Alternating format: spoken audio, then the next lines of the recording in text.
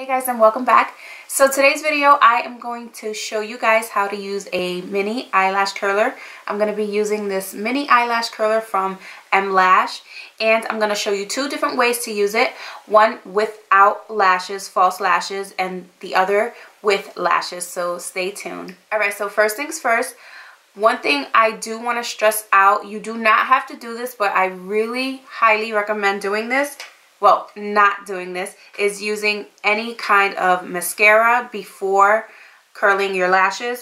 Only reason why is if you put on any kind of like a base or anything on your lash and it's still wet, you kind of run the risk of ripping your eyelashes out. So don't do that if you don't have to.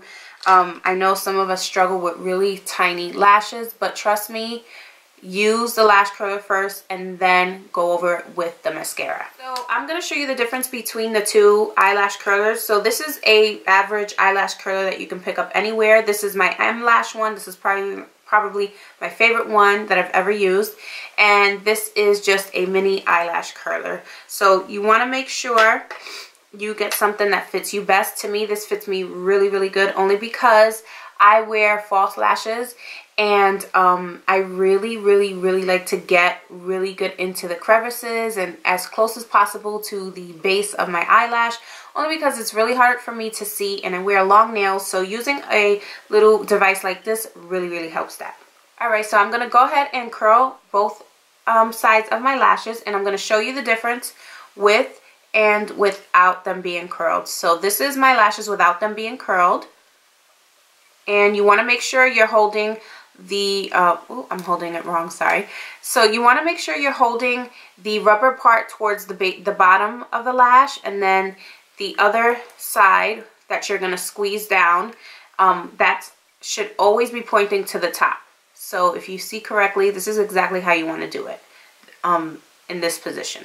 But of course facing your eyes.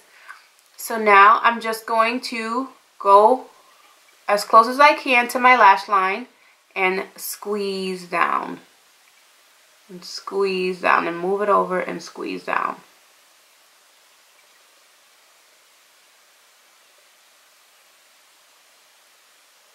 Like so now I'm just going to go in with my mascara. So make sure you're doing your mascara after not before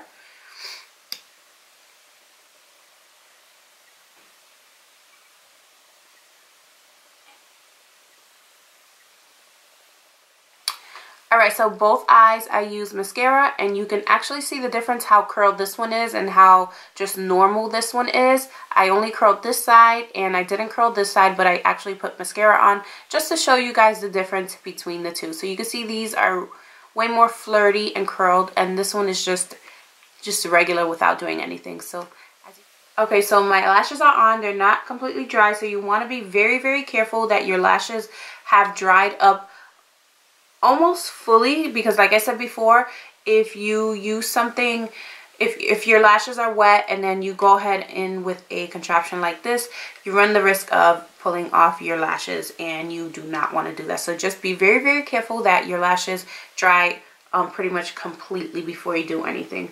So now I just like to bind my false lashes with the real lashes. And this helps because like I said, I wear long fake nails and I never ever ever can get this correct because it's just it it's just always comes out so messy. So this comes in handy when you have fake long nails like me.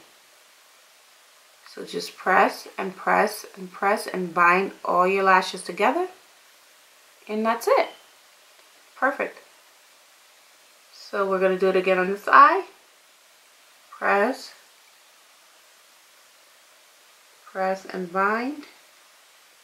Easy.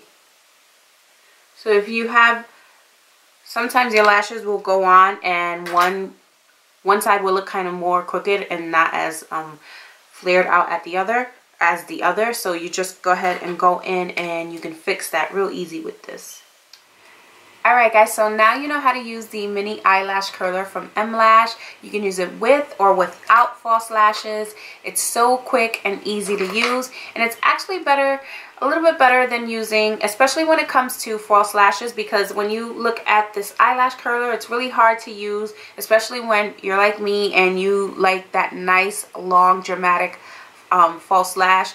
It's really hard to get in there with using this. So this comes in handy. I mean, it's like a no-brainer. And for those of you who freelance like myself, this is the bomb. I'm telling you, this is so much easier than using your tradi traditional eyelash curler. Like, it's a no-brainer. So, I will a, leave a link down below just in case you guys want to try this out for yourselves.